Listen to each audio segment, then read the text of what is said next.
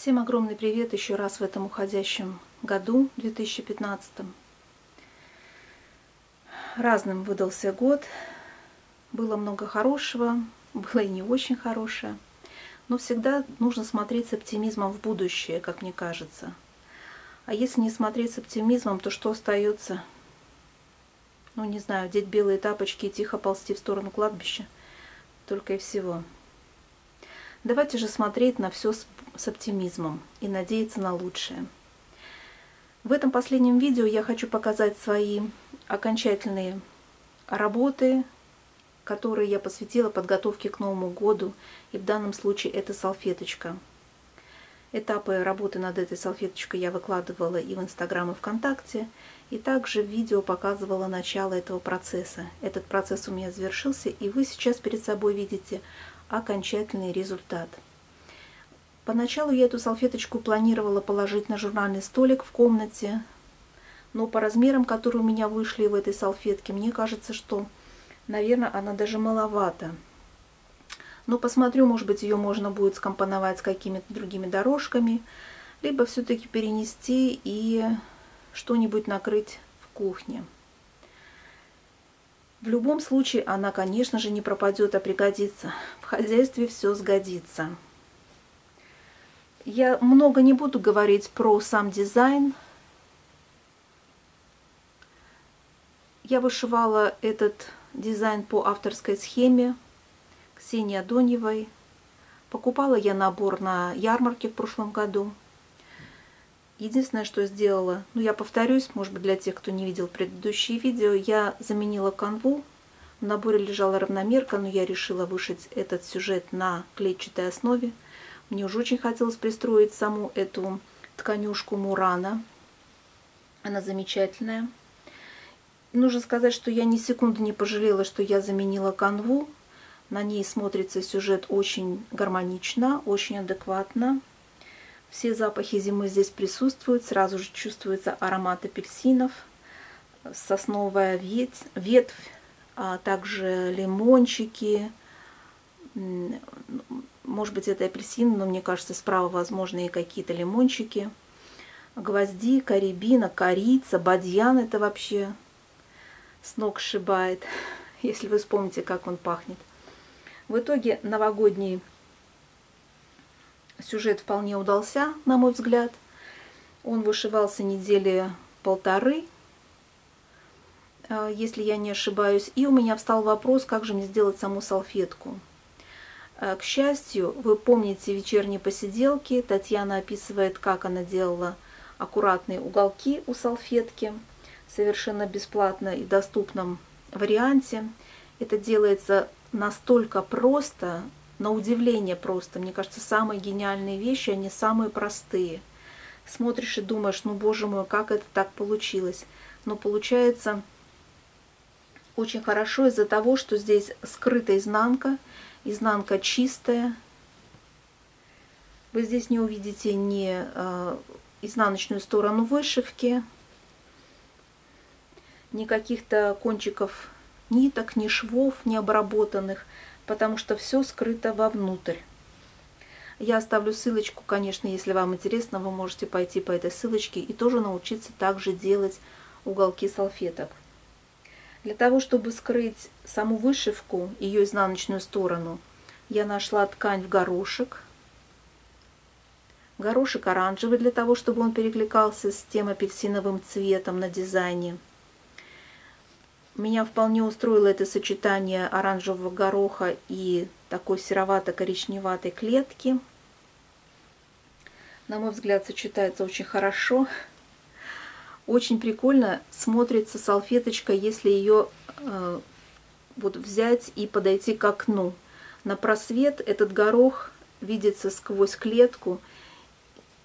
Мне очень понравился эффект. Надо что-то придумать такое, чтобы это было где-то заметно. Мне кажется, будет совсем неплохо. В принципе, эту салфетку можно еще дооформить, например, эту строчку, которая кладется на швейной машине, можно сделать и оранжевой ниткой, или можно сюда даже пустить какую-то тесьму или кружево в тон, ну, если что-то есть в наличии. я пока не стала никакими украшательствами заниматься, поскольку это моя первая салфетка, э, сшитая вот таким способом. Мне был интересен сам способ, получится ли у меня. Вроде бы получилось, я осталась довольной. Осталось найти только ей местечко. И еще, кроме салфетки, в этом видео я хочу вам показать свои потуги, я бы так сказала, связанные с шарами на пенопластовой основе в стиле артишок. Спасибо Леночке Цвет за ее мастер-класс, потому что я почитала и книжечку, и также посмотрела ее мастер-класс. Всегда удобнее один раз посмотреть, чем сто раз пролистать странички. Мне кажется, нагляднее, быстрее доходит. Так вот,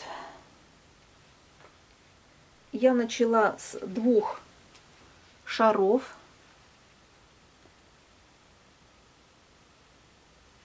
Я делала одновременно два шара. Покажу сейчас первый. Но он как бы э, первый, второй, не знаю. Я его первым закончила, но начала его вторым, скажем так. А здесь мне понравилось, ну вот я люблю такие сочетания зеленого, приглушенного зеленого цвета с красным тоже приглушенным. Это не вот этот яркий 666, который считается рождественским красным. Это такой насыщенный, приглушенный цвет. Нужно сказать, что сама ткань была совершенно не в новогодней тематике. Если приглядеться, то на ней даже можно увидеть розочки кое-где на зеленом фоне с веточками. Но в общем и целом мне все равно показалось, что это может подойти, уж не знаю каким боком, но подойти э, к нашим праздникам, к Новому году. Я еще не умела или как бы не совсем представляла, как можно сюда повязать ленту, поэтому я просто сделала такую петельку, на которую можно подвесить этот шар а, в любое место для украшения или на елку. И я еще подумываю, если вдруг попадется что-то на глаза, добавить серединку, поскольку на ленте есть достаточно мягкий блеск, золотой блеск, а сам шар очень спокойный. То есть, чтобы поддержать блеск ленты, мне кажется, можно сюда еще что-то воткнуть.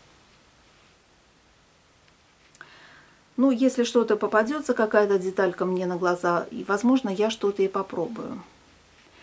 Надо сказать, что вот этот вариант мой муж не одобрил, он его не поддержал, не понял. Я, правда, ему показывала уже при полностью в вечернем освещении, чуть ли не в темноте, возможно, он смотрится не совсем так, но меня вот это сочетание цветовое очень успокаивает.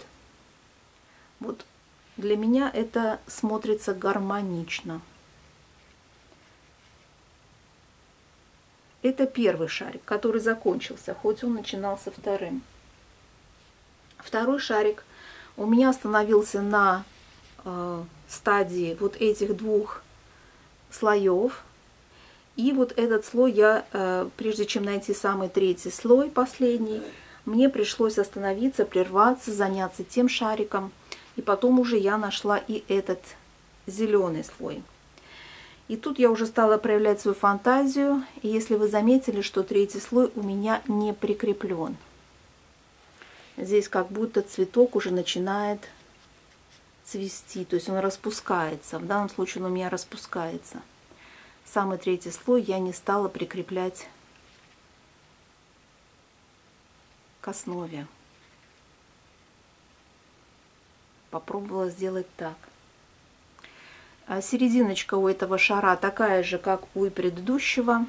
Вот этот слой сделан из красивого, красивого цвета. Там узор просто шикарнейший таких новогодних шаров красного, зеленого, темно-красного цветов, желтого.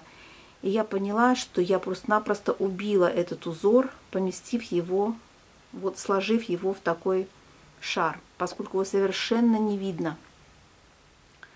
И он был крупноват для этого шара. нужно понимать, что если делаешь такие шары, то нужно искать какие-то мелкие узоры.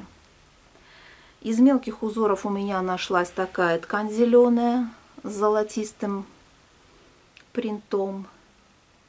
Ну, хоть он тоже тут какие-то цветочки, но это уже мелочи, их не особо и видно.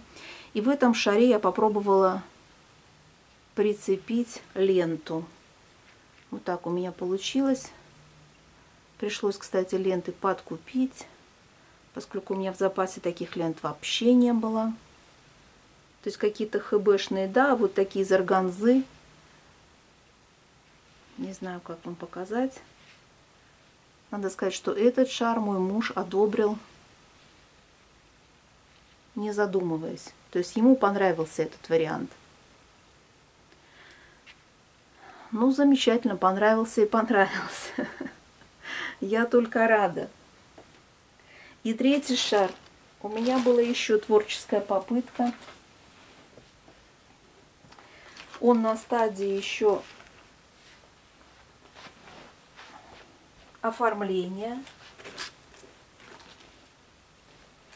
Так как я никак не могу придумать еще, как этот шар оформить, а, возможно, я не вижу пока оформление, поэтому никак оно мне не приходит. Возможно, мне материалов не хватает, поэтому я никак не соображу, что да как.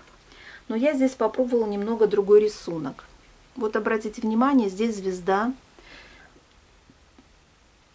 восьмиклинка. Здесь 8 углов у звезды. Я решила попробовать шестиклинку. Здесь я уже применила ткань. Все дело в том, что я отталкивалась от узора на этой ткани. Здесь такая снежинка. И я подумала, что в центре нужно сохранить эту снежинку. Это же все-таки узор. Так как в этих шарах центр, возможно, еще надо как-то украшать, то здесь центр уже украшен. Поэтому, отталкиваясь от этого узора, чтобы его по максимуму сохранить, я решила раздвинуть эту звезду. И поэтому у меня здесь получилось, ну опять же, я тут а, как-то тут пыталась, высчитывала. У меня тут получилась шестиклинка. Вторым слоем а, здесь такая вот действительно рождественского цвета тканюшка. Хоть и не совсем новогодняя, поскольку здесь проглядываются цветочки, но яркая, достаточно яркая. И последний слой это те шары, которые вы видели на подложке а, два видео назад – а, и это опять тот вариант, когда узор совсем потерялся в этом шаре, так как здесь все это, вся ткань сложилась, и самого узора, эм, э, самого узора перестало быть видно, если можно так выразиться. Здесь я пытаюсь его уже как-то оформить с такой лентой, а, наверное, придется мне еще вот из органзы ленты здесь накрутить. Но я э, боюсь, что у меня нет красной органзы такой по пошире. В общем, придется поискать ленты, и я его буду заканчивать. Откровенно говоря, вот этот шар моему мужу понравился меньше всего. Я была в шоке. Честно говорю. Я была честно в шоке, потому что мне это сочетание понравилось. Когда я спросила, что тебе не устроило, он сказал, очень яркая звезда. Вот звезда ему перебила все. Вот этот красный оттенок ткани и эта звезда оказались минусом в его понимании. В моем понимании это наоборот плюс этого шара, а в его понимании это, это минус. Шнур я пыталась прикрепить гвоздиками, надев их предварительно на пайетки не хотела его приклеивать, потому что не была уверена в этом, что это будет окончательный вариант этого шара. Так сказать, примеряла. А если приклеишь, то все, потом можно только на выброс. Вот, так что мне осталось дотумкать вот с этим шаром. И, возможно, что-то еще подыскать для того, чтобы и этот шар тоже получил свое завершение. Что хочу сказать про гвоздики? Вот один момент.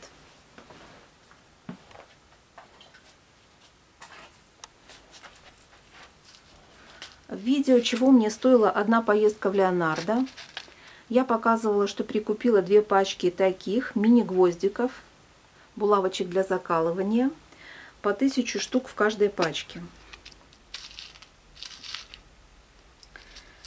Эти гвоздики короче, ну, они, может быть, даже в полтора раза короче тех, которые нужно было брать, как я теперь поняла. Вот они такие. А, так как я с ними очень а, сначала намучилась, протыкая ткань, потом до меня дошло, что половина из них тупые, то есть они не могут проткнуть ткань. Мне пришлось ездить еще раз в Леонардо, и я купила уже обыкновенные гвоздики. Они гораздо тоньше. Они входят в пенопластовый шар, как в масло. Единственный минус этих гвоздиков – это маленькая шляпка. И если, допустим, вы запланировали продеть пайеточку или еще как-то, эта шляпка может проскакивать. То есть здесь тоже нужно будет калибровать эти гвоздики и э, смотреть, э, выбирать то, что вам необходимо. Почему это важно? Потому что с этими мини-гвоздиками я так намучилась, у меня были красные пальцы. Большой указательный палец у меня просто горели. Я все время пыталась воткнуть их э, с огромнейшим трудом. Использовала всевозможные наперстки, которые у меня были. Поэтому вот предупреждаю вас, чтобы, возможно, вы не сделали такую ошибку и не купили, как я, эти мини-гвоздики. Кстати, когда я приехала в Леонардо и стояла рядом со стендом с этими гвоздиками, ко мне подошла консультант-продавец, она спросила, э, чем мне помочь. Ей рассказала эту душещипательную историю, на что он сказал, что вот эти гвоздики, наверное, не предназначены для э, этих шаров пенопластовых. Я удивилась, ну или для ткани, а для чего они могли быть тогда предназначены – и она сказала, что, наверное, для поэток больше. То есть, если не пользоваться тканью, а пользоваться только поэтками и этими гвоздиками, то они как раз очень хорошо будет, будут покрывать пенопластовые вещи. Это все мои впечатления. И на сегодняшний момент это все-таки окончательное видео о моей подготовке к Новому году. Спасибо всем большое, что были со мной весь этот э, длительный период подготовки. Я уже, честно говоря, подустала от него. Я уже перешла на совершенно другой сюжет и сейчас вышиваю четыре сезона, но об этом в следующем видео. Всем прекрасного вышивально-рукодельного настроения и до новых встреч. Пока!